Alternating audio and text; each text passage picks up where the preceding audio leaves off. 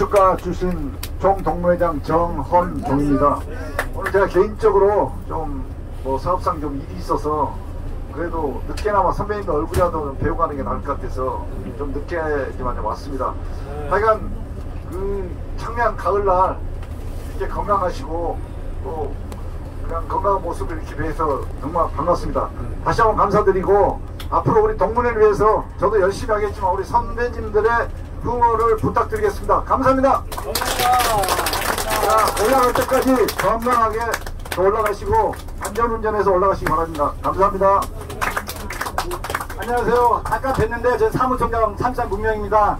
그 총동문회 그 사무총 맞지만은 그 각 지회, 산악회 또 여러 회가 많습니다. 그 다음 10월 달에 저 사무총장으로서 그 총동문회 이사님들하고 그 지회 회장님, 사무총장 모시고 그 한양 총도 발전을 위해서 행사 준비하고 있습니다. 그때 꼭 참석하셔서 좋은 의견 앞으로 발전해서 많은 부탁드리겠습니다. 감사합니다.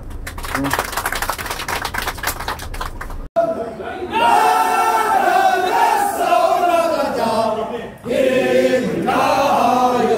예, 어원가입니다. 어원가 우리 한영공고 어원가. 아이.